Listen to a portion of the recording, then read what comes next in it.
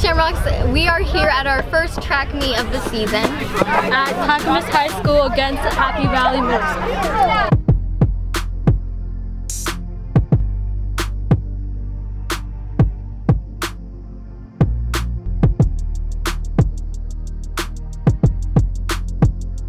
How do you guys feel about your first uh, middle school track meet? Low emotion.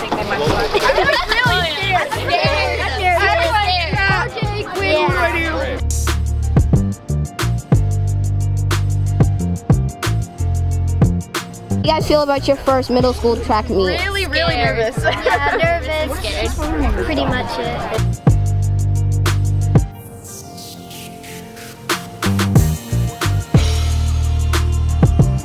How do you guys feel about your first middle school track meet? Oh, Fine. Tired.